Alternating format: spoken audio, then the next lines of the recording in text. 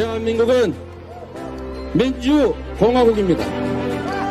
국민이 나라의 주인이고 모든 권력은 국민으로부터 나오고 대통령은 나라의 지배자가 아니라 국민을 대표해서 국민을 위해 일하는 모습이요 대리인일 뿐입니다 여러분 우리가 싸우면 우리가 힘을 합치면 우리가 이길 수 있습니다. 새로운 질서 만들 수 있습니다. 이 기득권 과거의 그 나쁜 구조를 깨고 새로운 길, 희망의 길 만들 수 있습니다. 함께 싸웁시다 여러분. 감사합니다. 우리를 기다리는 많은 사람들이 있습니다. 단순한 권력의 교체가 아니라 우리의 삶을 바꾸는 역사적 사명을 다하는 진정한 세상 교체를 바라는 그 많은 사람들을 우리가 잊지 맙시다 여러분. 조선일보는 민주당 경선과 대한민국 대통령 선거에서 손을 떼세요. 정치 개입하지 마십시오. 민생개혁, 사회개혁, 국가개혁 완수라는 임무를 부여하셨습니다. 국민의 준엄한 명령을 엄숙하게 실행하겠습니다. 국민이 요구하는 변화와 개혁을 반드시 완수하겠습니다. 때도 덥고 아, 그런 무소불리 권한을 행사했는데 아, 이들을 정상화하는 건 정말 중요한 과제고요. 그렇죠.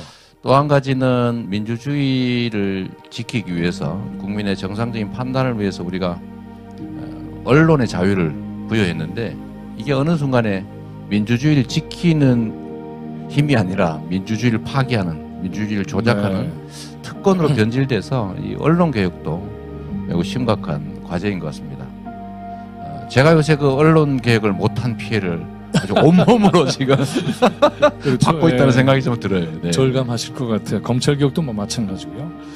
정치 검찰의 권력 사유화 문제, 또 방금 얘기했던 것처럼 언론 가짜 뉴스, 그리고 어, 특히 이제 국회의원들의 면책 특권이 도리어 범죄 특권이 되고 있는 게 아닌가 이런 얘기도 좀 하셨습니다. 그리고 언론의 경우에 있어서는 억울한 희생자들을 만들어내는 문제도 지금 뭐 방금 얘기했던 것처럼 참 많은 고통을 겪게 되는 거 아니겠습니까? 특히 그리고 조선일보 대선을 손떼라 이렇게까지 얘기를 하실 정도였고 그래서 이런 검언개혁 촛불행동연대와 아주 똑같은 그런 지향점을 가지고 계세요. 그런 점에서 보면은 이제 개혁 정치, 민생의 정의로운 토대를 만드는 것이니까 이재명이 기대하는 개혁 정치의 수위, 강도, 내용 이런 게 있습니다. 어떻게 하실 겁니까? 어, 뭐 저에 대해서는 이제 최대치의 개혁을 기대하시죠. 어, 그렇죠. 실제로 네. 네. 저는 제가 가진 권한의 범위 내에서는 그 권한을 어쨌든 최대치로 행사했고 네. 그래서 작은 권한을 가지고도 좀 예, 예측을 벗어나는 성과를 만들어냈습니다.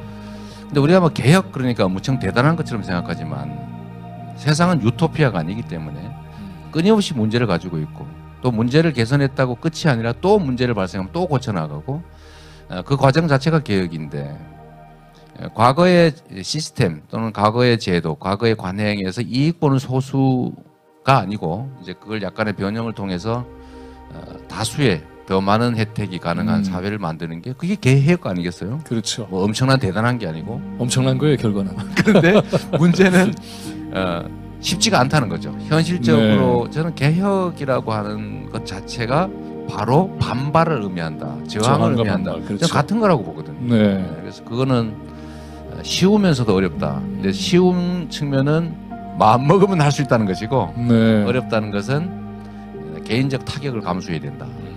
마음 거죠. 잘뭐 저야 잡수시잖아요. 먹고 저야 뭐 그- 하시잖아요. 그걸 넘어서면서 네. 성장해온 정치인이니까 그렇죠. 뭐 그게 일종의 자양분이었죠. 이재명의 뼈대는 개혁 정치에 있다. 네. 박수 부탁드리겠습니다. 감사합니다. 네. 뭐 정치인이 원래 당연히 해야 될 거를 그렇게 박수 그렇죠. 쳐주시니까 좀 쑥스럽습니다. 아닙니다. 그야말로 박수를 받을 일입니다. 예. 대장동 얘기 안 할 수가 없어요. 이걸로 어, 이재명의 개혁 정치의 어, 어떤 상징처럼 되고 있는 동시에 고통도 지금 겪고 계시잖아요. 그렇죠. 얘기 안 할 수가 없습니다.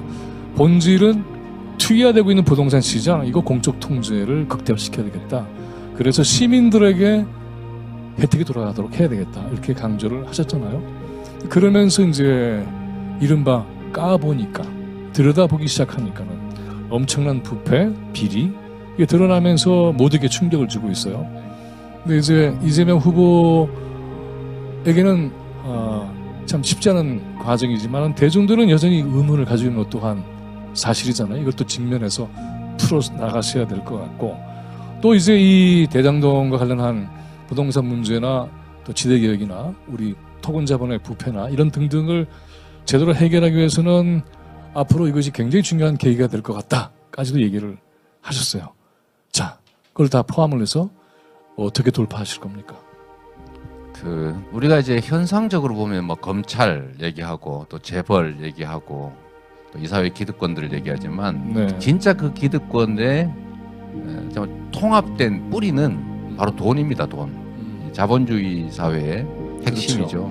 근데 이 돈을 어, 노력하지 않고 쉽게 많이 예, 취득하는 집단들이 있습니다. 근데 그게 아주 기득권이고 그 기득권의 핵심은 토건 세력인데요. 제가 제 인생에 처음으로 그 유치장에 구치소에 끌려갔던 일이 바로 이 토건 세력 때문이었어요. 네. 뭐 아시는 분 계실지 모르겠는데 제가 시민 운동을 하면서 이제 분당의 정자동 용도를 바꿔가지고 이제 주상복합을 만드는 일을 제가 시민 운동을 하면서 반대를 했는데 그때 제가 이 실상을 보게 된 거예요. 음, 돈도 안 들이고 네. 정치 권력과 유착하면 남의 돈으로 엄청나게 많은 수익을 순식간에 낼 수 있는 게 바로 음, 이 부동산 투기구나. 쉽다는 게 바로 그런 의미죠. 그런 거죠. 네. 그래서 제가 그걸 이제 폭로했다가 무슨 검사를 사칭하는 PD를 도와줬다 이렇게 해서 이제 구속이 됐었는데 네. 그래서 제가 일부러 이걸 연구를 하기 위해서 대학원도 가고 네. 이걸 제대로 들여다보긴 한 거죠. 그래서 이번에 이 대장동 문제는 그 일부에 불과하고 네. 어, 인허가권 행사로 생기는 불로소득, 소위 지대, 에, 지대는 국민의 것이지 않습니까? 그렇죠. 본질적으로. 네. 그리고 또 한 가지는 이게 하늘에서 떨어지는 게 아니고 땅에서 솟는 게 아니고 부라고 하는 것은 일정한데 누군가가 불로소득을 얻으면 누군가가 손실을 입습니다. 그렇죠. 예, 그게 세상 이치거든요. 그런데 이거를 사람들은 체감하지도 못한 상태에서 음, 마치 개구리가 물이 끓어감에 따라서 갑자기 어느 순간에 사- 죽어가는 것처럼 몰라서 누군가는 그렇죠. 네, 엄청난 이익을 얻고 누군가는 네. 나도 모르게 피해를 입는 그래서 불평등이 격화되는 이런 과정을 제가 막고 싶었는데 네. 핵심은 음흠. 어, 국민의 권력을 행사해서 생기는 이익은 국민에게 그러려면 공공 개발을 통해서 개발 이익은 국민에게 네. 이걸 하고 싶었는데 이걸 못하게 막은 게 국민의힘이고 LH한테 포기시킨 것도 국민의힘 네. 민간 개발을 강요한 것도 국민의힘. 제가 그 틈바구니에서 그래도 70%한 음. 1조 원, 어, 아 좁게 하면 7, 5천억 정도를 회수했는데 그 나머지를 뜯어부은 것도 국민의힘이고 음. 그런데 이들이 지금 와서 그렇게 얘기하는 거죠. 너 왜 네. 공공개발 안 했어? 왜 100% 환수 안 했어? 음. 그래서 최근에는 국회에서 그러면 공공개발 하자 네. 했더니 입법을 거부하고 있어요. 그렇죠. 이게 황, 이게 황당한 현실의 모순인데 이런 적반하장이 가능한 환경 자체가 바로 언론입니다. 이렇게 얘기를 지금 설명을 하면 만나는 국민들이 그래야 하고 설득이 잘 되던가요? 잘 안 되죠. 네. 아, 그왜 그러냐면 저 개인에 대한 것보다는 네. 이 우리 사회의 그 정치 행정 세력들에게 그야말로 배신감을 느끼고 있는 겁니다. 음. 그들은 이걸 수천억씩 순식간에 해먹는데 우리는 평생 벌어도 그렇죠. 집도 한 채 못 산다. 음. 모두 원망스러운데 그 눈에 띄는 게 이재명이죠. 음. 왜다 못했어? 하여튼 너도 뭐 관계 있는 것 같아. 그렇죠. 그 국민의힘 의원이 저한테 청문회 때, 참, 그 국감 때 물어봤거든요. 네. 어떻게 돈을 안 먹을 수가 있어? 50원이라도 먹었어야지. 네. 혹시 섭섭하지 않더냐? 네. 당신 부인은 안 섭섭하더냐? 이렇게 네. 말하잖아요. 근데 실제 그런 시각이 있거든요. 음. 이 정말 이 난장판 돈장집판에서 이재명이 아무것도 안 먹었을 리가 있겠냐? 네. 라는 의심을 계속 이렇게 연기를 피우는 거죠. 거죠.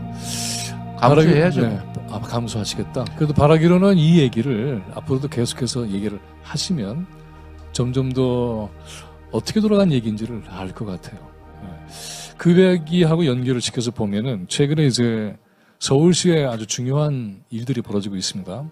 오세훈 시장이 아, 도시재산 같은 경우도 보면은 재개발 쪽으로 돌리고 있고 또 시민이 참여하는 그러한 모든 사업이라든가 청년 자율 예산이라든가 또는 공공교육이라든가 이런 것들을 다 말하자면 뒤엎어버리는 그런 이게 그대로 허용이 되면은 자칫하면 이게 전국화될 수 있는 가능성이 있고요.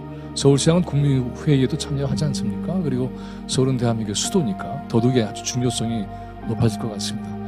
대당도 얘기를 하시면서 바로 그러한 민간 개발 위주의 부동산 정책이 얼마나 심각하게 국민들에게 피해를 주는가 아, 쭉 말씀하셨잖아요. 서울시에서 지금 이런 일들이 벌어지고 있어요. 저 어떻게 하실까요?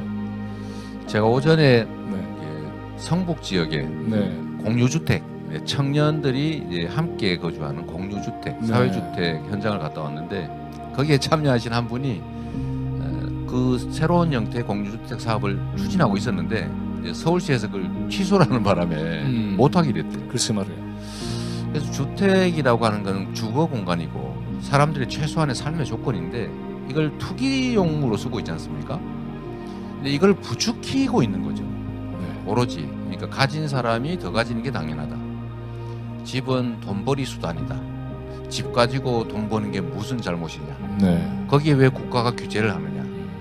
민간 자율에 맡겨라. 제가 정말 황당한 거는요. 최근에 보수 언론들이 왜 공공개발 다 못했어 이렇게 저를 막 비난했잖아요. 그렇죠, 그래서 막상 공공개발하는 법을 만들겠다니까 민간 시장 위축된다. 그렇죠. 이건 시장 침해다. 음. 공급 줄어든다. 하면 안 된다. 이렇게 바로 네, 180 돌아섰어요.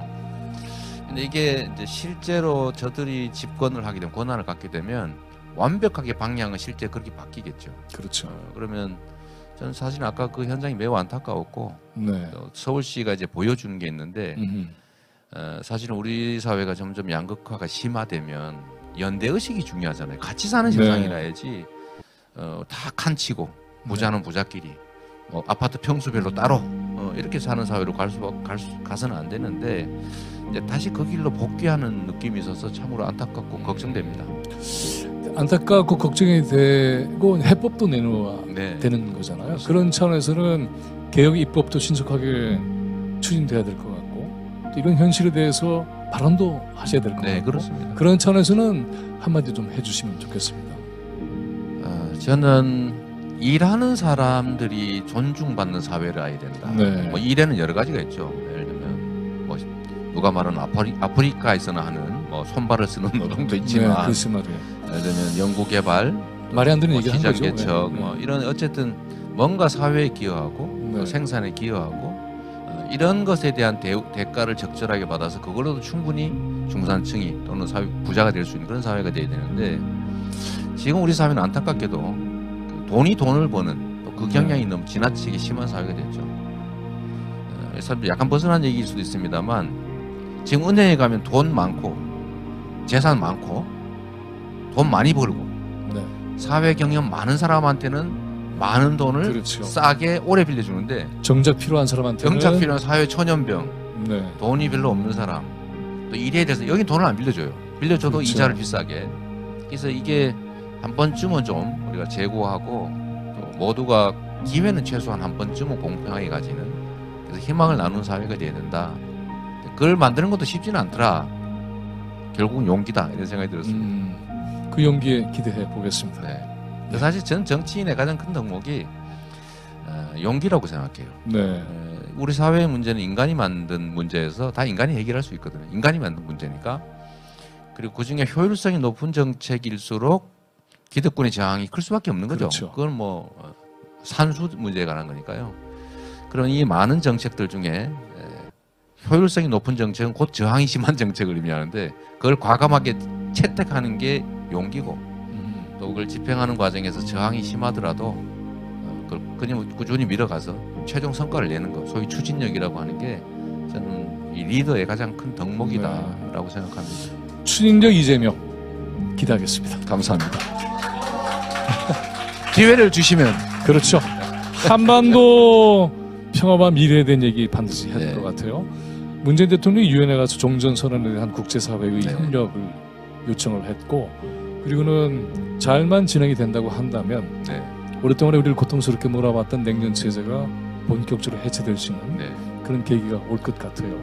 자 그렇다면 이재명 정부에서는 뭘 더 전진시키 진전시킬 것인가? 그리고 이런 냉전 해, 체제를 해체하기 위해서는 어떤 경로를 구상하고 있는가? 네. 말씀 듣고 싶습니다. 이제 한 반도 국가의 운명이라고 하는 게 있는 거죠. 네. 이건 기회와 위기가 공존하는데 어, 대양과 혜륙이 충돌하는 중간 지점이지 않습니까? 그러니까 본질적으로 양쪽에 영향을 받게 되는데 강력한 국력 바탕 위에 자주적 의지가 분명하면 양쪽을 다 이용할 수가 있어요. 자주적 의지가 분명하네요. 네, 네. 결국은 국력과 의지죠. 그 의지의 핵심은 역시 리더의 의지일 테고요. 네, 그렇게 하면 양쪽을 다 활용할 수가 있죠. 양쪽에게 다 필요한 존재니까. 그런데 이걸 반대로 국력이 약하거나 아니면 의지가 약하면 휘둘리게 되죠. 네. 이 동전의 양면 같은 건데요. 저는 어, 국익 중심의 에, 실용 외교로 가자, 음. 균형 외교로 가자라고 제가 말씀을 드리고 있고요. 균형이라고 하는 것은 무엇과 무엇의 균형이죠? 세력 간의 균형이죠. 세력 간의 어, 균형. 국제 사회의 세력 간 균형을 이루어야 된다. 우리가 어, 한미 관계 매우 중요하죠. 네. 어, 그건 뭐 피할 수 없는 것이고 어, 결국 그 관계를 합리적으로 고도화하는 거 중요하고 또 중국과의 관계는 경제적 관계이기도 하고 또 실제로 우리가 인접해 있기 때문에 그 벗어날 수가 없습니다. 네. 어, 거기는 협력 관계를 또 강화하고 어, 그 안에서 사실 우리의 자주적 의지가 매우 중요하죠. 남북 관계도 사실 마찬가지인데 이 남북 관계 문제도 어, 외부 요인에 의해서 휘둘리면 안- 안 된다.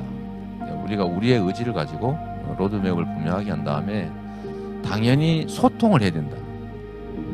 그 다음에 대화하고 협력하고 그 기반 위에서 저는 경제적 관계로 발전하는 게 가장 핵심이라고 봐요. 네. 저는 이제 경제가 평화를 보장하고 평화가 경제를 보장하는 이 상보 관계에 있다고 생각하기 때문에 어, 평화 경제 체제를 어떻게든 구축해 나가는 게 음. 목표가 돼야 된다고 생각합니다. 어, 그런데 지금 상대 입장에서는 뭐 어, 군사 합의 파기하자, 남북 합의 파기하자, 뭐 이런 주장을 하지 않습니까? 그 사실 그 얘기를 들을 때마다 저는 사실 머리가 쭈삣쭈삣 서죠. 아, 이렇게 생각하는 사람들이 이 나라의 어, 예를 들면 야당을 얘기하는 네, 거죠. 지금? 네. 이게 국정을 감당하겠다는 네. 거냐? 그러면 앞으로 다시 휴전선에서 총 쏘고 어, 또 해안포 발사하고 국제 신인도 떨어져 가지고 코리아 디스카운트 심화되고 뭐 투자도 안 하고 이게 더 삶을 나, 나쁘게 만들 거 아닙니까? 그런 점에서 보면은 사실은 남북 간에 여러 가지 합의문이 있어요. 네. 그렇습니다. 그리고 국회에서 비준이 돼야 될 것들도 있는데 안 되고 있잖아요. 네. 그러니까는 말은 했는데 실천이 되고 있다는 것 또한 적지 않습니다. 내용을 보자면 내용 자체는 굉장히 좋은 것들이 네. 풍부하잖아요. 이미 뭐 박정희 대통령하고 그때 당시 합의해 놓은 것만 해도 훌륭합니다. 그렇고요. 네. 내용을 거기도 뭐 자주라는 게. 분명하게 네. 밝혀져 있고 그때만 자주란 말을 써요. 네, 네. 사실은. 근데 이런 자주적인 그러한 위치에서 이미 합의된 내용도 어, 제대로 풀고 있지 못하다. 네. 굉장히 큰 아쉬움입니다. 이재명 정부는 이걸 어떻게 풀겠습니까? 정말 쉽지 않죠. 그러니까 네. 우리 문재인 정부에서도 이제 성과라고 한다면 한반도의 긴장도 완화되고 협력 관계도 진척되고 또 새로운 네. 구체적 합의들도 끌어냈고 어쨌든 우리의 자, 자주적인 의지도 상당히 많이 관철된 측면이 있죠. 에, 그러나 우리 국민들의 기대치는 그보다 훨씬 높은 것이고 그렇죠. 네. 네, 어떻게 할지에 대해서는 세부적인 전략이야 어쨌든 외교 전문가, 남북 관계 전문가들과 상의하겠지만 저는 기본적으로 신뢰 구축에 지금보다 네. 훨씬 많은 에너지를 쏟아야 된다고 생각해요. 음, 제가 경기도가 북한과 접경하고 있지 않습니까? 그렇죠. 어, 실제로 뭐 이해관계가 충돌하는 지점이 꽤 많아요. 예를 들면 방역 문제도 그렇고 음, 음. 수재 문제도 그렇고 네. 예를 들면 뭐 농업 직접 경제, 영향을 직접. 영향을 네. 미칩니다. 뭐 북한이 황강댐 확 열어버리면 임진강이 확 넘치고 그러거든요. 네. 그래서 그런 이제 현실적인 문제들 때문에 남북 간그 교류 협력 사업을 독자적으로 좀 진척을 한 게 꽤 많이 있는데 네. 어, 결국 저는 민간 영역의 교류 협력도 좀 강화하고 음. 또 지방 정부 차원의 교류 협력도 많이 문을 열어주고 자유로울 자율적으로 좀 진행할 수 있게 하고요. 어, 좀 뭐라고 좀 외풍이 좀 심하더라도 좀 굳건하게 좀 버티면서 국민들을 믿고 어, 어쨌든 끊임없이 대화하고 소통하고 협력하고 또 그 사람들 지원 이런 말 싫어하니까 네. 어, 끊임없이 협력해 함께? 나가고 네. 좀더 높은 단계의 어, 경제 협력 단계까지 올라갈 수 있다면 어, 저는 길이 있다고 생각하고요. 제가 이제 미국의 그러니까 비공개이긴 하지만 이제 미국 관련 그 인사들을 꽤 만나게 되는데 네. 그 얘기를 하는 거죠. 어, 미국과 중국과 북한과 한국 또 주변국에 모두에게 도움되는 길이 있다. 그게 뭐냐?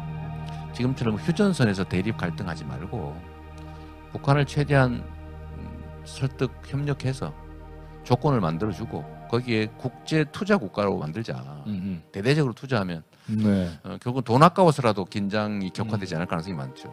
지금 돈이 제일 중요하잖아요. 국제화 시켜서 그렇습니다. 그래서 네. 함께 이해관계를 도모할 수 있는 그렇습니다. 예. 그런 어, 지역으로 만들자. 네. 이게 중요한 것 같아요. 지금 말씀을 들어보면은 세 가지 중요한 단어들이 떠오르게 돼요. 자주적인 어, 위치를 굳건하게 지킨다.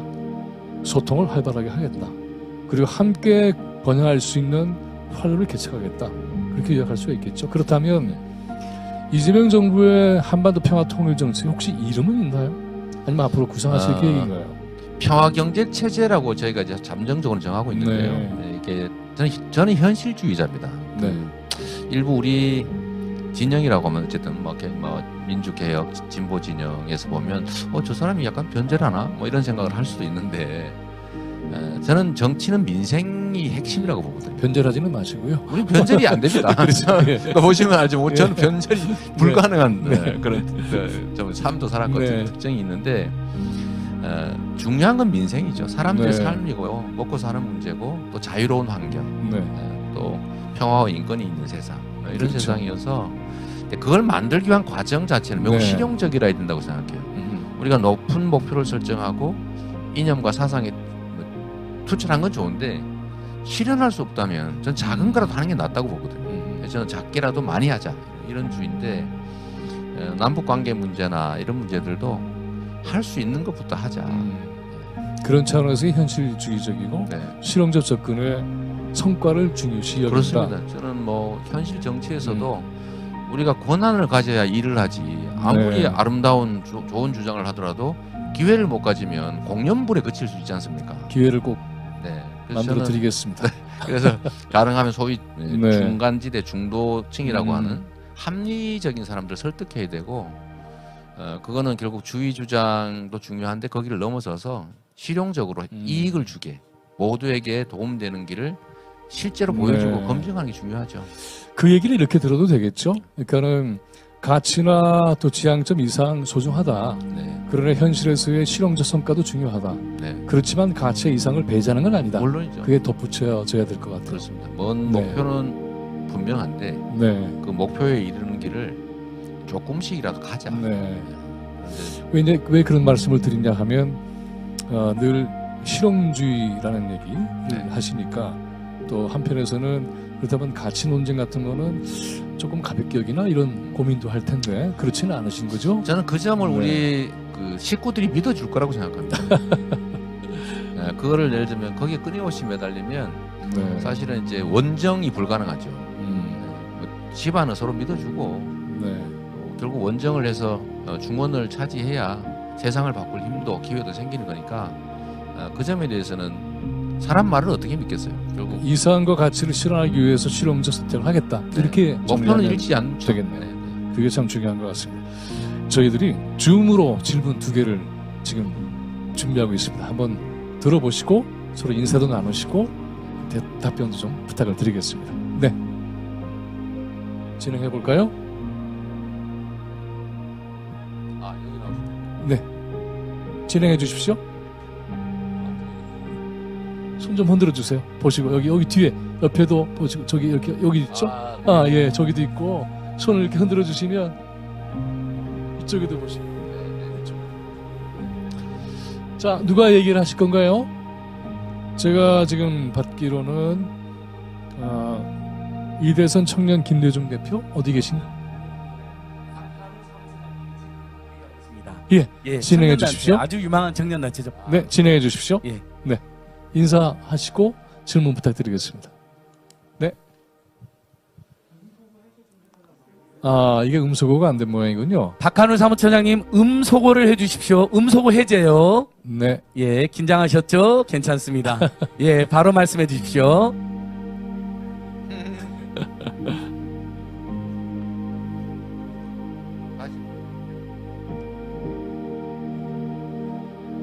아, 아.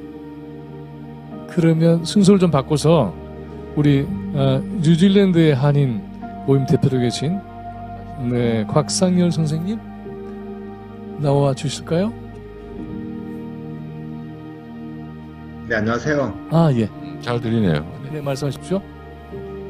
네, 이재명 후보님 안녕하세요. 저는 어, 더 좋은 세상 뉴질랜드 한인 모임에서 활동하고 있는 곽상렬입니다.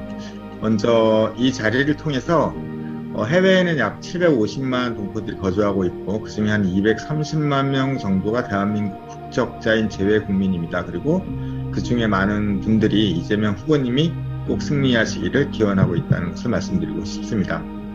그래서 어, 재외 동포들에게 좀 더 많은 관심을 가져주시기를 먼저 부탁드리고요. 어, 후보자님께 한번 여쭤보고 싶은 게 있었습니다. 이렇게 말씀하시는 걸 들어봤는데 아까 사회자님께서도 대한민국의 위상에 관해서 말씀하셨는데요. 코로나 상황 이후로 한- 대한민국의 위상이 국제사회에서 월등하게 높아졌다고 저희 해외 동포들이 확실하게 느끼고 있습니다. 이런 상황에서 어, 남한과 북한이 서로 공조하여 힘을 합쳐서 유엔이라든가 국제무대에서 독도 문제를 비롯한 여러 가지 한반도 평화 체제를 항구적으로 정착시킬 수 있는 방안 이런 게 있을 것 같은데요.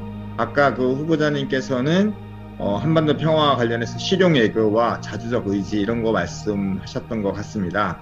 어, 직접적으로 한번 여쭤보고 싶습니다. 어, 4.27 판문점 선언과 9.19 평양 공동 선언 이후에 사실상 남북 관계 진척이 사실 못 되고 있는데요. 후보자님께서 대통령이 되시고 나서 어, 개성공단 재개, 금강산 관광 재개 같은 구체적인 사업 계획이 혹시 있으실까요?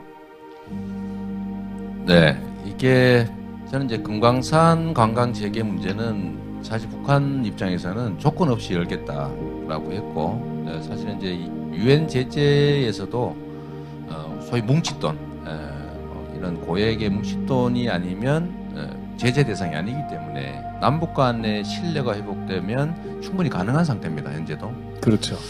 어, 근데 약간 실기한 측면이 있고요. 이제 네. 북한이 이제는 어, 필요 없다 이런 태도를 보이고 있기 때문에 좀 어렵긴 하지만 어, 저는 북한도 필요한 상황이라서 어, 남북 간 신뢰가 회복이 되고 또 강력한 의지를 가지고 있으면 뭐 제재 대상이 아니기 때문에 네. 저는 가능성이 높다고 생각하고 꼭 해야 될 일이라고 생각합니다.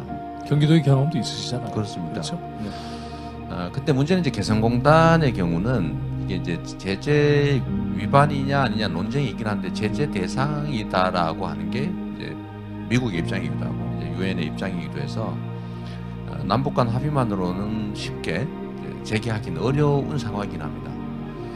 어, 저는 이제 반드시 필요하다고 생각하죠. 아까도 말씀드렸지만 개성공단 재개는 사실은 이제 전통 제조업 중심이어서 어, 투자 규모도 크지 않고 어, 물론 이제 피해는 크긴 한데 어, 사실 우리가 예정했던 규모의 10분의 1 정도에 불과하지 않습니까? 애초 계획했던 거에. 그래서 앞으로는 첨단 산업 중심으로 이제 개성공단 이상의 새로운 네. 투자 공간을 만들어내야 되는데 이거는 이제 국제사회에 대한 설득이 필요하고 어, 국제사회를 설득하기 위해서는 북한의 핵 문제, 미사일 문제에 관한 어, 미중 또는 뭐 주변 국가, 한국, 뭐 북한 사이에 합의가 돼야 되거든요. 근데 그 합의를 어, 만들어내야죠 어떻게든 간에. 그렇게 만들어야 되고. 네. 기본적인 로드맵들은 어, 대체적으로 정리는 돼 있는 상태입니다. 네. 이제 어, 아주 단순하게 얘기하면 일종의 이제 로드맵을 만든 다음에 실행을 단계적으로 하자. 단계적으로 하는데 혼자 하면은 못 믿으니까 권총을 서로 겨누고 있는 상태에서 3도 각도씩 내리자. 3도, 3도, 3도 이런 식으로 그리고 검증하고 뭐 3도 맞나? 이렇게 검증하고 대신에 혹시 뭐 어, 위반을 하면 다시 복구하는 걸로. 소위 이제 snapback, snapback 방식이라고 해서. 네.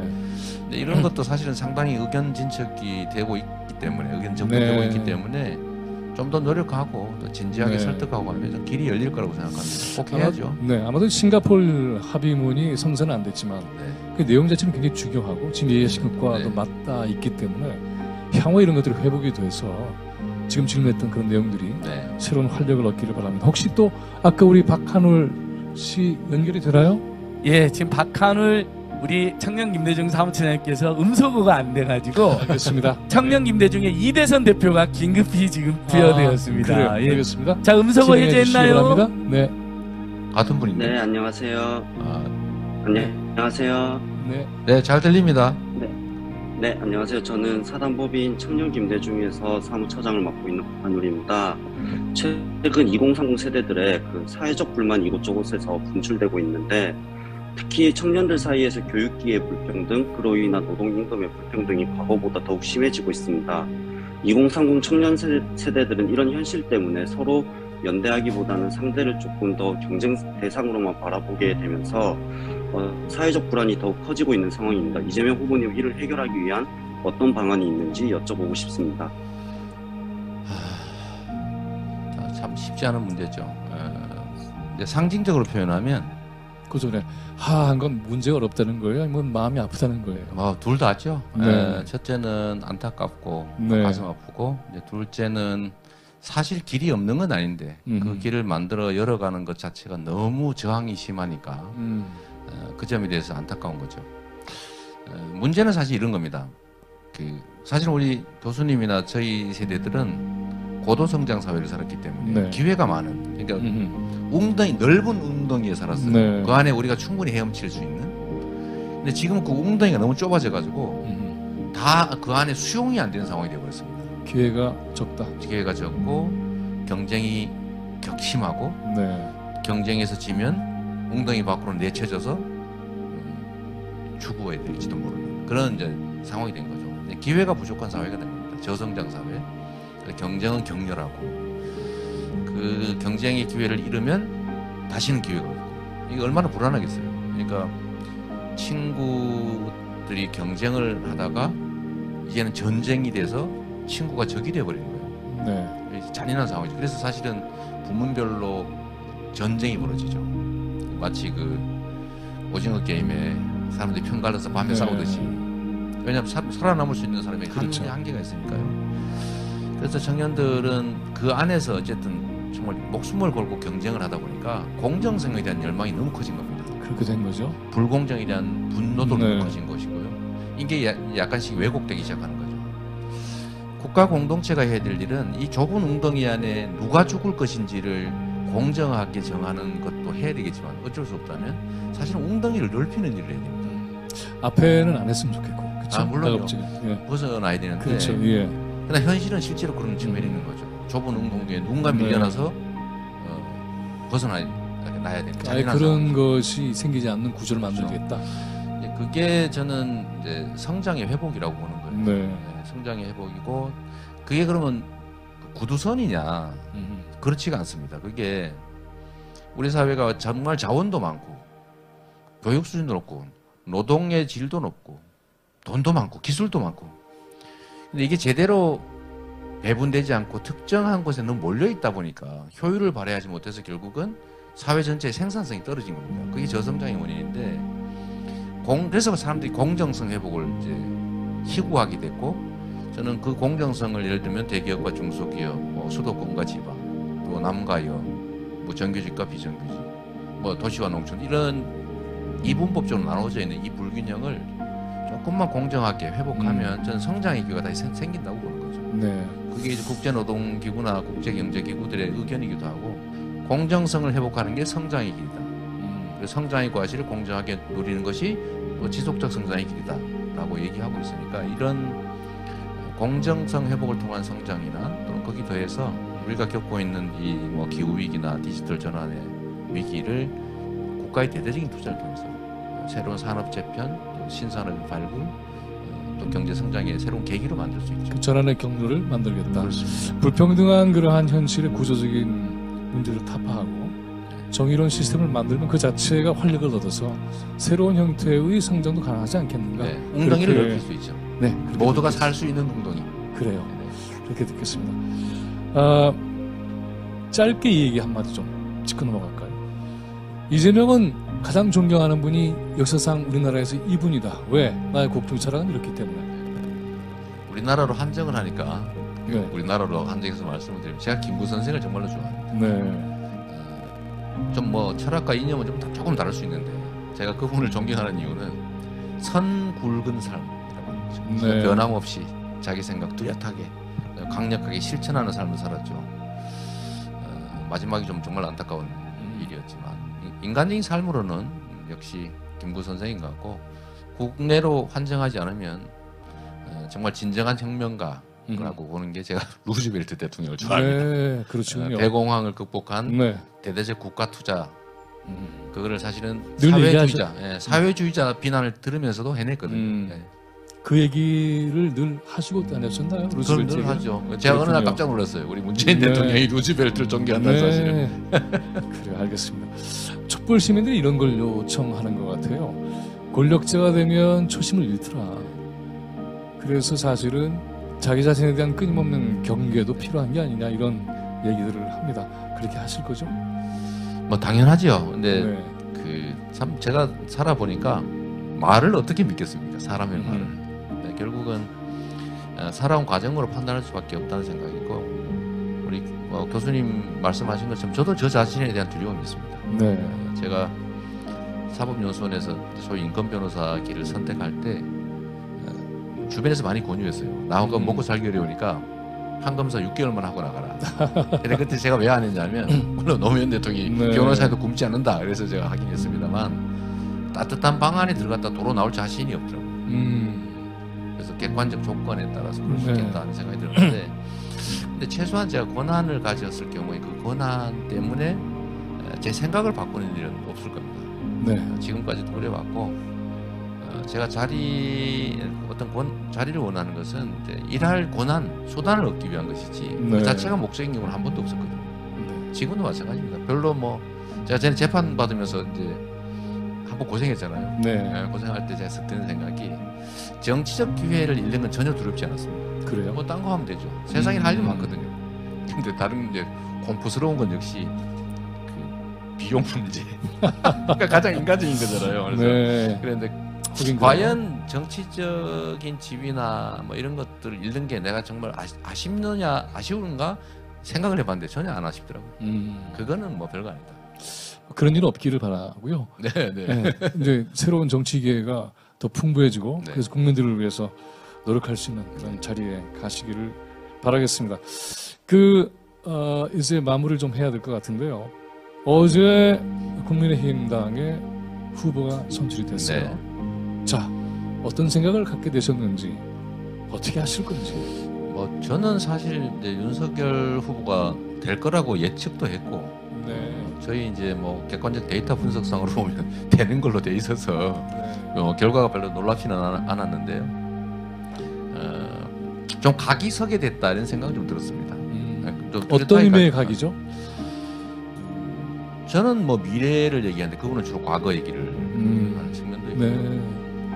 그분은 주로 보복 복수 얘기를 좀 많이 하는 것 네. 같아요. 누구 잡아넣겠다. 저도 잡아넣겠다고 자꾸 그러더라고요. 그렇죠. 네. 내, 내가 되면 이재명 잡아넣는다 이런 얘기를 그래서 어, 근데 저는 사실은 미래 미래 민생을 얘기하고 네. 싶다 뭐 그런 생각 들고 결국 앞으로는 이 위기의 시대이기 때문에 이제 난제가 많은 시대이기 때문에 실력이 중요한 시대라서 또 그 실력이라고 하는 건 말이 아니라 실적이 있어야 되잖아요 증거가 그렇죠.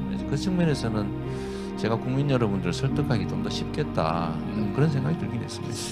한마디 더 붙이자면 이 기회를 통해서 그래서 이재명의 실력은 이겁니다.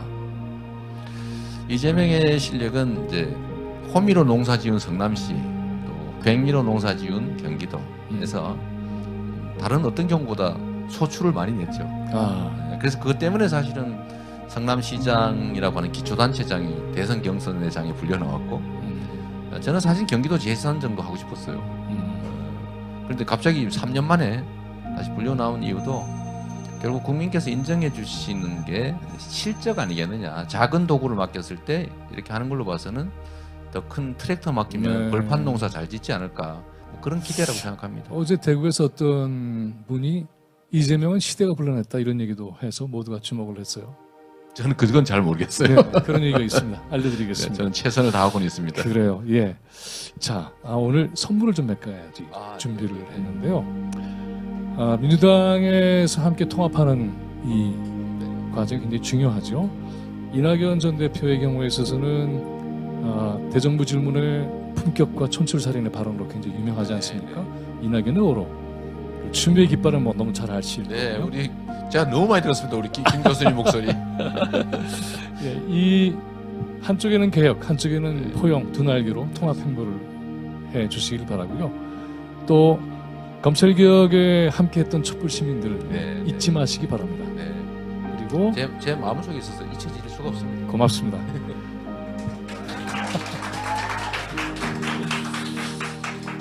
기본소득 아, 절박한 분들이 굉장히 많아요. 네. 이 기본소득 얘기를 했다가 조금 고비도 있었던 걸로 네. 알고 있습니다만은 기본소득 지금 세계 내에는 작은 책이지만 이 네. 책은 전 세계에서 기본소득 어떻게 하고 있는가 네. 그리고 기본소득은 새로운 희망을 기획할 수 있는 권리다 이런 차원에서 이 책도 아이고. 전달을 해드리고 있습니다. 그래서 너무 감사합니다. 네 박수 부탁드리겠습니다. 아마 여기에는 우리 국민들이 이재명 후보에게 기대하는 내용들이 다 가득 담겨져 있을 거예요. 아, 민주당에서는 통합 행보를 해달라. 촛불 시민을 잊지 말아달라. 그리고 기본 사함의 비빌 언덕을 푸디 만들어 달라. 이런 요청이 있는 것 같습니다. 자, 저희도 이제 마무리를 지어야 되겠는데요. 제가 우리 지- 이낙연 후보님의 이 어록 책은 꼭 한번 읽어보도록 하겠습니다. 네, 꼭 그렇게 해주시기 바랍니다. 네, 배우, 최장 배울 게 많은 분이셔서. 그렇죠. 네. 최장 보좌관이 기록한 내용이니까는 네, 네. 그래서 어, 이낙연의 오록 굉장히 어, 의미 있게 기억되시기를. 뭐, 김원훈 교수님의 목소리로 우리 그 추미애 대표님. 아, 네, 네. 추미애 깃발. 네, 정말 그- 고맙습니다. 너무 멋있었어요. 네, 아, 고맙습니다. 저렇게 잘 만들 수 있나 싶었어요. 그거는 우연히 그 콘서트에서 제가 잠깐 책의 일부를 읽었는데 네. 따로 무슨 뭐 내레이션을 녹음실에서 한 건 아니고요. 아, 그랬다 그랬어요? 걸 이제 활용을 한 것 같아요. 저 오늘 진지하고 또 의미 있는 시간을 가졌습니다. 아, 어떻게 보면은 본격적인 어, 전쟁이 시작된 것이죠. 아, 부패한 특권 카르텔이 재집권을 하려고 하는 이 움직임 앞에서 아, 정말 민주주의를 지켜내고 또 모든 사람들에게 평등과 정의로운 세상을 만들어내고 누구 하나도 누락되지 않고 약자를 만들어내지 않는 그런 세상을 향해서 그 기대를 온몸에 안고 어, 이 싸움에 전면에 나선 이재명 후보에게 여러분 다시 한번 큰 박수를 부탁드리겠습니다. 네, 고맙습니다. 아, 네. 헐리얼에 오셨는데 지금 바로 이 어, 검언 개혁 촛불 행동 연대 우리 사회의 대전환을 꿈꾸고 열망하고 그 모든 기대를 이재명 이석자에 걸고 있습니다. 인사 부탁드리겠습니다. 네, 제가 다른 건 못해도 어, 우리 세상을 변, 세상의 변화를 바라는 많은 분들의 도구 역할은 충실히 하도록 하겠습니다. 네. 어, 저 개인의 역량이나 이런 거야 뭐, 뭐 그렇게 대단한 건 아니지 않습니까? 그 저도 그 국민의 한 사람에 불과하고 부족한 게 많은 사람인데 하여튼 저는 이 민주주의 사회에 우리의 에, 가능한 방식은 서로를 통해서 서로의 목표를 이뤄내는 것이다. 음, 동지적 연대를 통해서 각자가 가진 꿈을 우리 동지들을 통해서 이뤄내는 거죠. 네. 예, 저도 우리 동지들의 그 유용한 네. 도구가 되도록 노력하겠습니다. 고맙습니다. 고맙습니다. 네. 오늘 동지적 연대 함께 하셨